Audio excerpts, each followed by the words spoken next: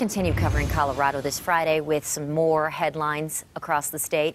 The city of Aurora has paid $480,000 to firefighters who say they were discriminated against. Four firefighters say they were discriminated against while working in the primarily white fire department, according to the Aurora Sentinel.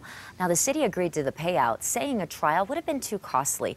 Only one of those four firefighters is still with the department.